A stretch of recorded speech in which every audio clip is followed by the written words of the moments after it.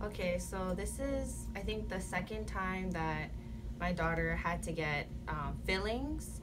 And um, I thought it was going to be okay because it was the second time and I wasn't expecting anything. But when we came in, she was traumatized.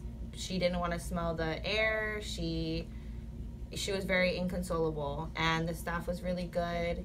You know dr david gave me options saying you know we can come back you can come back in three months we can give you fluoride you know calm her down and stuff. Um, he they they, they gave us a lot of time. I was kind of trying to console her fast because i know they had other patients but um, they weren't rushing us at all. You know they let us step outside and talk to her and i got to calm her down a little bit and then they suggested the the wrap, which we did do, and um, I felt like it really calmed her down. Like Dr. David said, it's kind of like a swaddle for a baby. It's kind of like just a big hug, and um, she was able to do it. And even after, she was like, "Mommy, can we do it again?" Which which was funny. But um, we live in Mililani, but we choose to come to this dentist because the staff, and because you know it it puts my puts me at ease and it puts her at ease. So that's why we make the drive here to Pearl City.